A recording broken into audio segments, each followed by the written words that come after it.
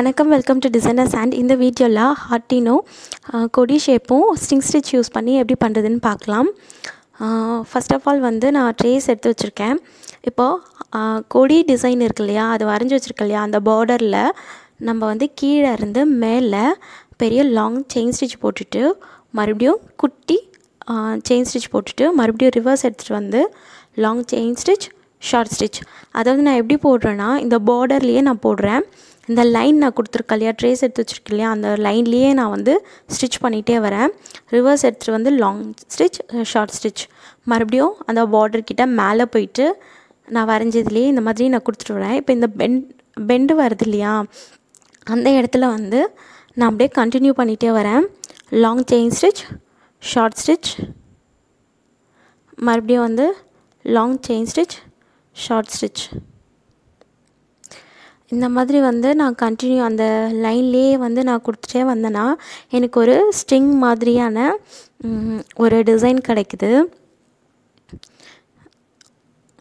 இப்போ பார்த்திங்கன்னா நான் அப்படியே கண்டினியூ பண்ணிகிட்டே வரேன். இது சிம்பிள் தான்.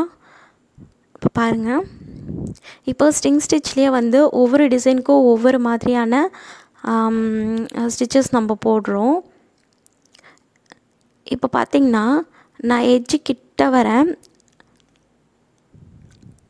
எட்ஜ் கிட்ட வந்துட்டு நம்ம ஃபுல்லாக கம்ப்ளீட் ஆன பிறகு லாக் ஸ்டிச் கொடுத்து நம்ம வந்து இது பண்ணிக்கலாம். அதே மாதிரி வந்து நான் பெட்டல்ஸ் யூஸ் பண்ணி எப்படி ஸ்ட்ரிங் ஸ்டிச் அப்ளை பண்ணுறதுன்னு நான் வந்து வீடியோ போட்டிருக்கேன். லிங்க் வந்து டிஸ்கிரிப்ஷன் பாக்ஸில் நான் தரேன் போய் பாருங்கள் இப்போ எட்ஜில் வந்து நான் முடிச்சுக்கிறேன்.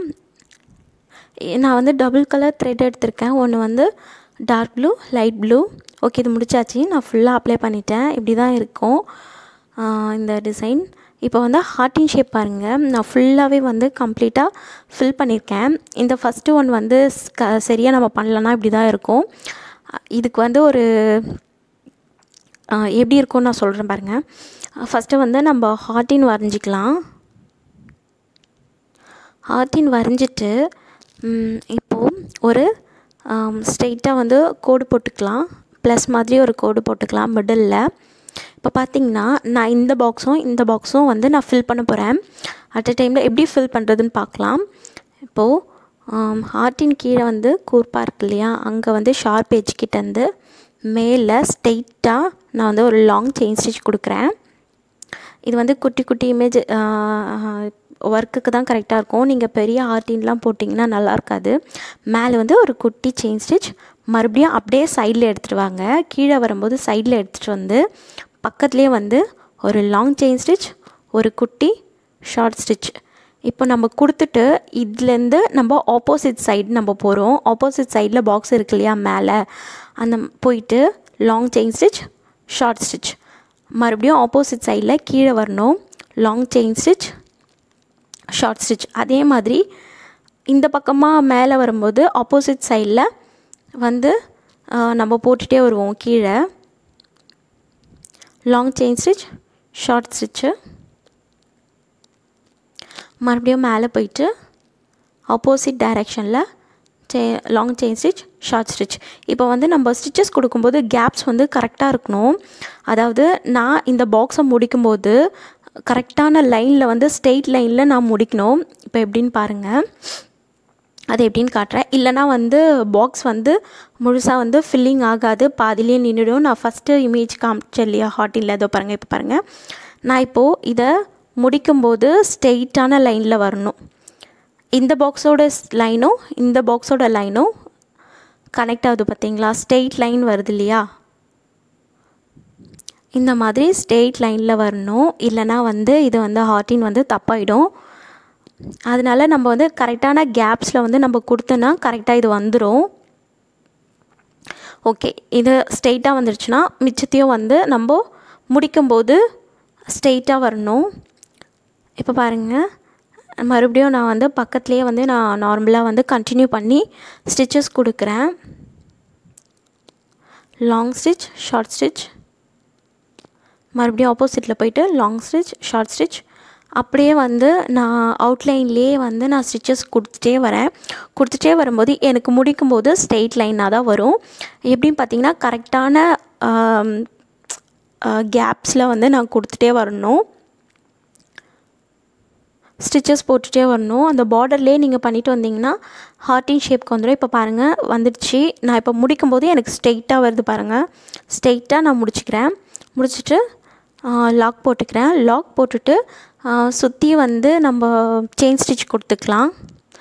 நல்லா இந்த ஹோல்ஸ் தெரியாத அளவுக்கு செயின் ஸ்டிச் கொடுத்துக்கலாம். அப்போ தான் நல்லாயிருக்கும். இது வந்து ஒரு டிஃப்ரெண்ட்டான ஸ்டிச்சாக இருக்குது பார்க்குறதுக்கே நல்லாயிருக்கு இது. ஃபில்லிங்கு இப்போ நீங்கள் கேப்ஸ் தெரியுது அப்படின்னா வந்து உள்ளக்கு வந்து ஃபஸ்ட்டு செயின் ஸ்டிச் கொடுத்துட்டு அதுக்கப்புறம் வெளியில் வந்து இந்த ஸ்டிங் ஸ்டிச் கொடுத்திங்கன்னா அந்த கேப் கூட தெரியாது.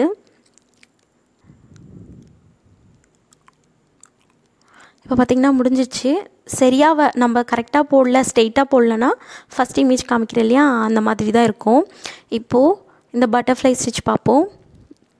இந்த பட்டர்ஃப்ளையில் வந்து கீழே இருந்து மேலே லாங் செயின் ஸ்டிச் குட்டி ஷார்ட் ஸ்டிச் அதே மாதிரி கீழே வந்துட்டு லாங் செயின் ஸ்டிச் குட்டி ஷார்ட் ஸ்டிச் இந்த மாதிரி நம்ம கொடுத்துட்டே வரணும். இது நார்மலாக நம்ம ஃபில்லிங் பண்ணுவோம் இல்லையா? அரி எம்ப்ராய்டரியில் அந்த மாதிரி ஸ்டிச் தான் இதுவும். என்ன நம்ம வந்து அந்த பார்டர்லேயே கொடுக்கணும்? கொடுத்துட்டே வரும்போது லாஸ்ட்டில் இந்த எட்ஜில் மேலே எட்ஜில் ஷார்ப்பாக இருக்கு இல்லையா அந்த இடத்துல ஃபினிஷிங் கொடுத்து முடிச்சுக்கணும். முடிச்சுட்டு மறுபடியும் இன்னொரு சைடில் வந்து அனதர் சைடில் வந்து கீழே இருந்து கொடுத்துட்டு வரணும். ஸ்டிச்சஸ் வந்து பார்டர்லேயே கொடுத்துட்டு வந்தோன்னா மேலே வந்து நம்ம வந்து லாக் போட்டுக்கலாம். இப்போ பாருங்கள் நான் கீழே இருந்து நான் ஸ்டிச்சஸ் கொடுத்துட்டே வரேன். நான் இதில் ஏன் குட்டி ஸ்டிச் கொடுத்தேன்னா எனக்கு கீழே வந்து பெண்டு வந்துடுது. ஸோ என்னால் வந்து லாங் செயின் ஸ்டிச் கொடுக்க முடியல. ஓகே இது முடிச்சாச்சு. இப்போ பக்கத்துலேயே வந்து நான் இன்னொரு கலர் யூஸ் பண்ணி இப்போ நான் பண்ணேன் இல்லையா? அதே மாதிரி ஸ்டிச்சஸ் நான் அப்ளை பண்ணிக்கிறேன். மெத்தட் நான் அப்ளை பண்ணிவிட்டு வரேன். இதுக்கு நம்ம வரைஞ்சி தான் கொடுக்கணும்னு இல்லை பக்கத்துலேயே வந்து நம்ம வந்து கரெக்டாக கொடுத்துட்டு வந்தோன்னா கரெக்டாக வந்துடும் அதே மாதிரி எட்ஜில் போயிட்டு நான் லாக் கொடுத்து முடிச்சுக்கிறேன். இப்படி தான் இருக்கும். இது ஃபுல்லாகவே நான் முடிச்சிட்டேன். இப்போ நம்ம ஃபில்லிங் பண்ணுறதெல்லாம் பண்ணிவிட்டு செயின் ஸ்டிச் யூஸ் பண்ணி பார்டரும் கொடுத்தாச்சு. ஓகே இது எல்லாமே முடிஞ்சிச்சு. நம்ம இன்னும் வேணும்னா கூட டெக்கரேஷன்